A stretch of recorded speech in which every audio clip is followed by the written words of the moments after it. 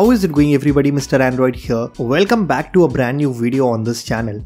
Guys, whenever I purchase a new phone, one of the main priorities for me is how good the software experience I get on that specific phone. Trust me, it's the most important thing for me while using any Android smartphone. So with that said, in today's video, I've got this flagship device from Vivo which is the X200 Pro. And what makes it unique from other Vivo devices is that instead of FunTouch OS, it is running the Origin OS 5 based on Android 15. Since this is a Chinese variant, I was able to try one of the most underrated Android skins which has loads of interesting features and customization that is really difficult to find on other Android phones. So I'm really excited to share with you all the unique exclusive Origin OS features that I think will provide you with one of the best software experiences you can get on any smartphone. So stay tuned and watch this video until the very end. Also if you love watching videos on different Android UIs, then don't forget to subscribe to this channel and smash that like button. It would mean a lot to me. Now let's get right into the video. Alright guys, First things first, if you look at my home screen, it might look very similar to the other Android phones, but when I just pinch with my two fingers, here is where we get some interesting features we have got the app and kit section where we can find different types of widgets which are basically called kits in the Origin OS 5 and there are many cool looking widgets available here which you won't be able to find in the global version. But what I really liked is this option called Mood Cube. If I tap on it, here we get a lot of customization features which we can directly access from the home screen itself. You can change the wallpaper style and add different effects. You can give a monochromatic look to your home screen, add some blur and there is this option called sky which will add some cool effects to your wallpaper depending on the weather outside. Next we have the option to customize the icon style. There are two different styles you can choose from and you can even change the app icon color to match your current wallpaper. I actually like how beautiful the themed icons look on the Origin OS and the best part is you can see all the changes in real time. Then there is an option to increase or decrease the icon size and below we get the option to choose different themes and wallpaper.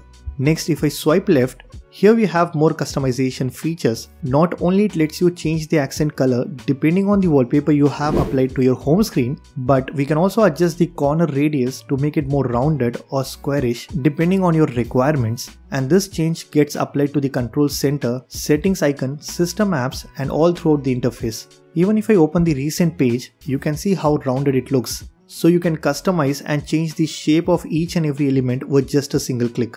Inside the recent page, you get the option to change the layout. You can switch to grid view to see more applications at once and the transition you get when switching between different views is extremely smooth as well.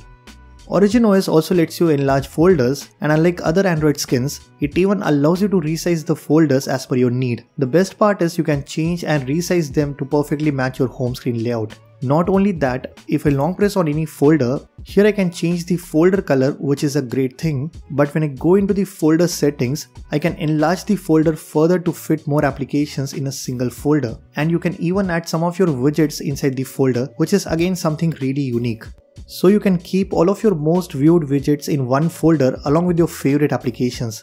Next up let's talk about the control center. As you can see everything looks more rounded here but if you want you can change these toggles by simply going inside the mode cube. You can swipe left and easily adjust the rounded corner. This gets applied directly to the control center. Apart from this if I click on the edit icon then go into customization here we have some additional options related to the quick panel. You can customize the layout enable or disable the lock screen control center and below we get theme style options where you can further customize the control center. There are different themes available here. We have the black and white theme, blue and green, red and blue and more. So just for the quick panel, you get a lot of customizations in the Origin OS and all these actually look really good in my opinion.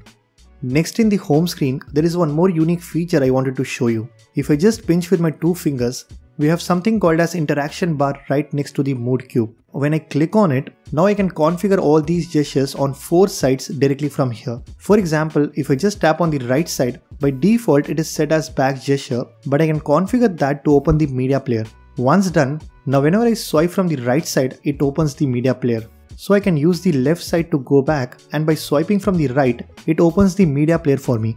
Like this, I can configure and change all these gestures as per my requirement. Now if I go into phone settings, select home screen and lock screen wallpapers, here we have all the customization beautifully laid out in this main screen. And if I tap on lock screen, Origin OS not only allows you to edit the lock screen with different clock faces, you can enable or disable the depth effect and we also get this decorative tab which lets you completely redesign the lock screen with different frames and designs. But what's cool here is when you go back and select system style.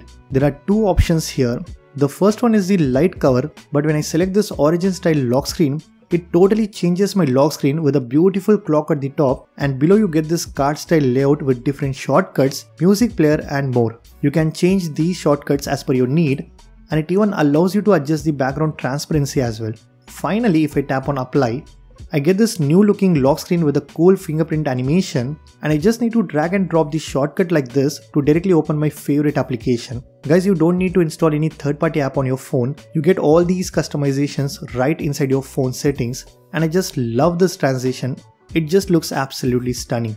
Next in the customization page, when you click on dynamic effects, here you can further tweak the animations and motion blur. For example, if I want to add background blur when opening and closing applications, I just need to enable this toggle. Similarly, if I go into home screen transition animation, I can customize the app opening and closing animation.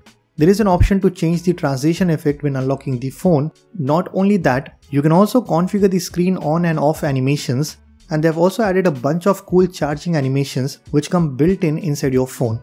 Guys, trust me, Origin OS has so many customization features and many of these you won't find on other Android skins. Finally, there is a feature called Origin Island that works exactly like the Dynamic Island feature which is present on iOS. So when you do voice recordings, set a timer or play any music on your phone, it goes right into the punch hole from where you can easily control and manage all your background tasks.